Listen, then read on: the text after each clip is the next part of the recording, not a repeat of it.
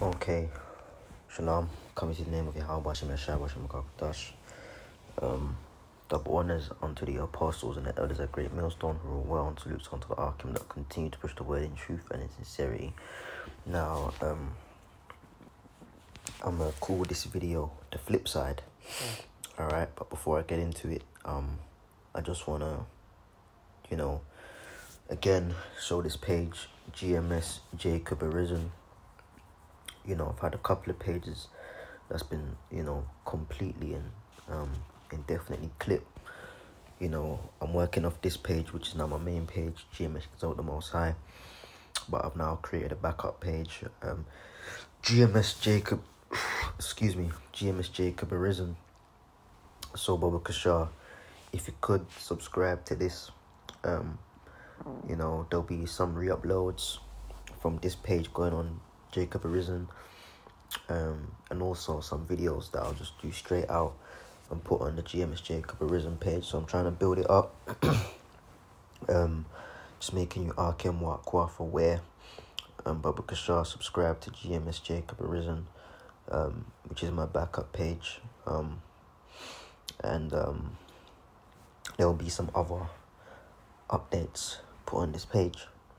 Anyhow, um, what I do want to do is um go to uh, let me see some yeah go to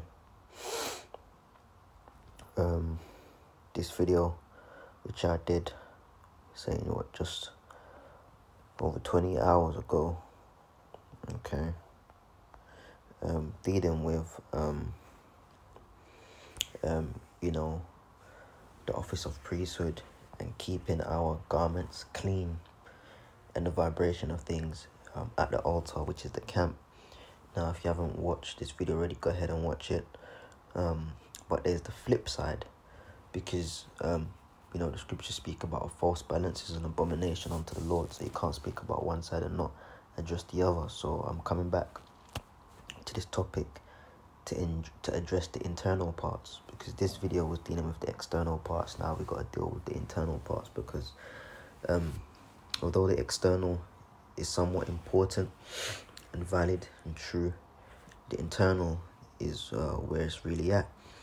Okay, so um, um, this is the book of Matthew 23 and 25, and this is Yahweh Shai. Okay, our Lord, our Messiah, our Savior Yahweh Shai. Alright, and you know, even at the end, man, we're gonna push the names of Yahweh and Yahweh Shai. Okay, in the, in the Holy Spirit, by Hashem Kodash, man. Okay, we're gonna push the names of Yahweh, the Heavenly Father, the name of Yahweh. Alright, and the name of His Son, Yahweh Shai, which together are the holy names, man. Yahweh, Bahasham, Yahweh Shai. Man. Oh. Okay. So anyways, this is Matthew 25, sorry, 23 and 25. And this is Yahushai speaking. He says, Woe unto you, scribes and Pharisees, hypocrites! For you make clean the outside of the cup and, and the platter, but within they are full of extortion and excess. Okay. You know, if you have a cup and you, you wash the outside of the cup, but you don't wash the inside of the cup, you know, it's like, what, uh, what the hell are you doing, man? You know, yeah, you wash the outside of the cup because you're meant to, but more importantly, you gotta wash the inside of the cup. You know, that's where the juice is, was in. That's where the water was in. That's where the, the, the, the you know, the, the, the, the juice stains or marks or whatever is in. You gotta, you know, you gotta wash the inside, man.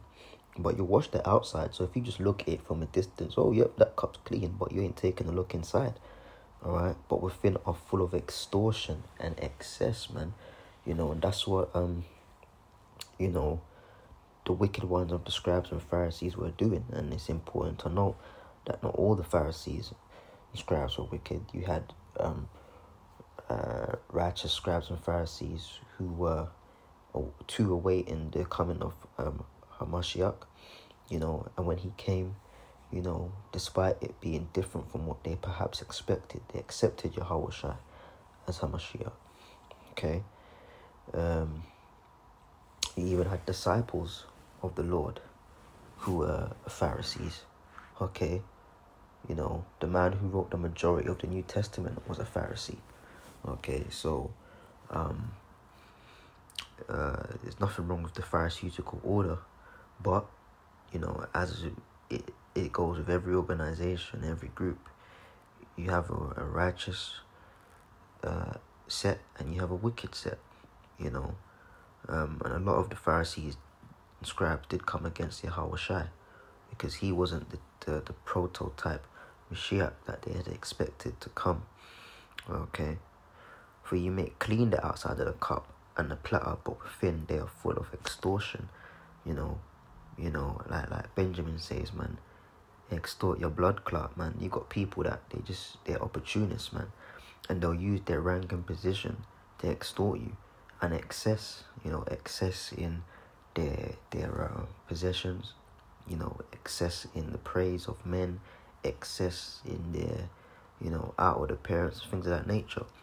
Yahushua goes on to say in verse 26, Thou blind Pharisee, cleanse first that which is within the cup and platter, that the outside them may be clean also.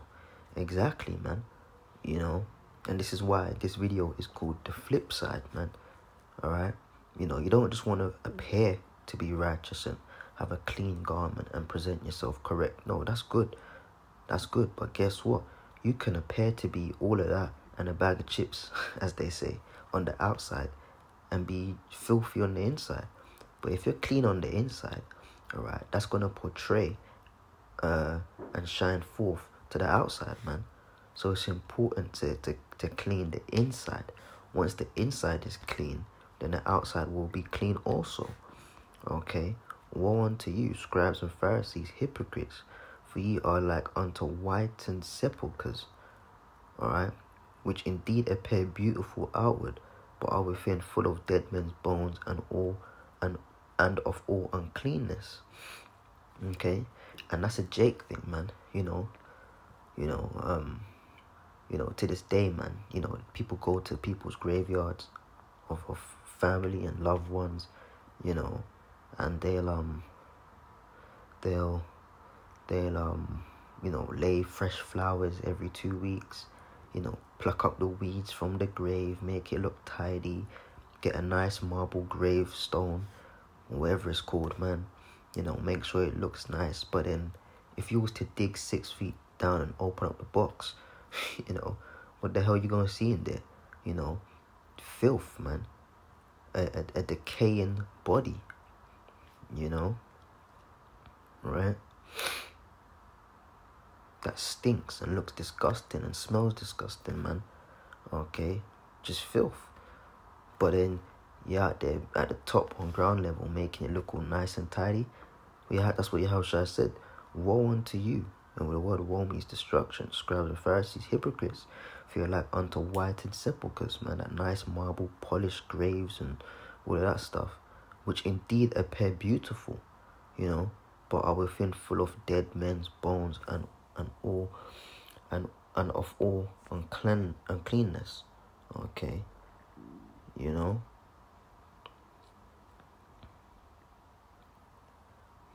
So so there you have it, man. You know.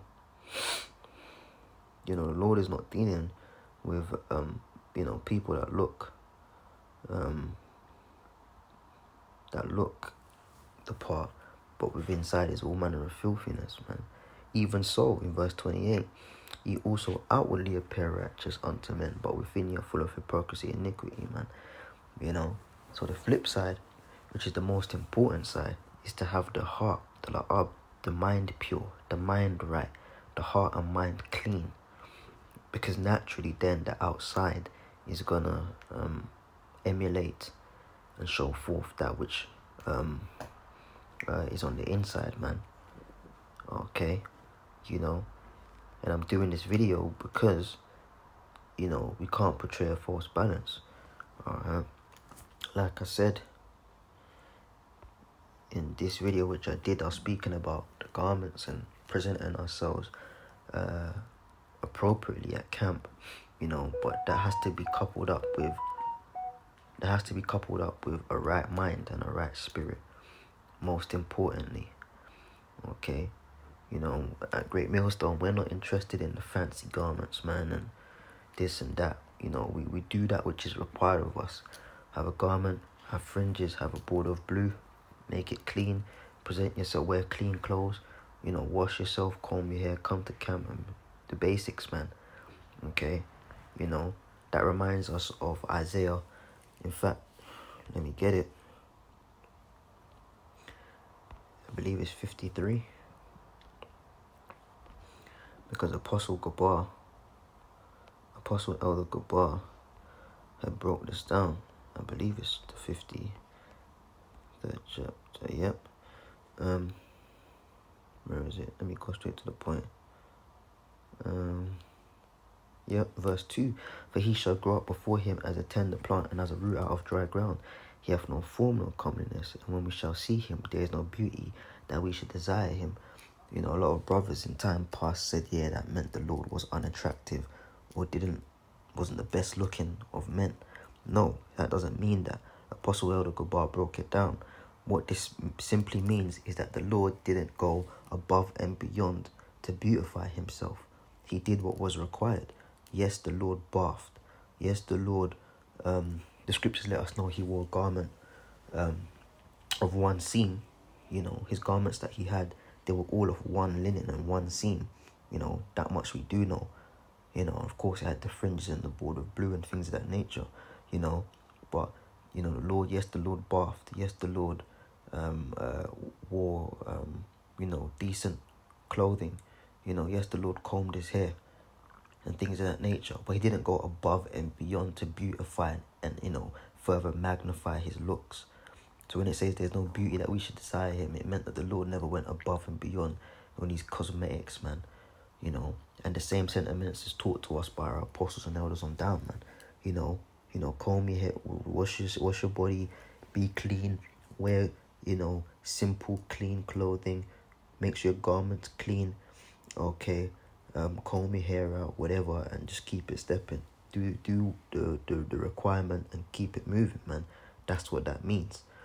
Okay, so whilst we uphold all of this, going back to the scripture, it's most important, however, right, that the heart is clean, man. Because you can look the part, you know, you know, but the inward content of a man might not be the part, man. So it's all about the inside, man. So this is the flip side. Shalom.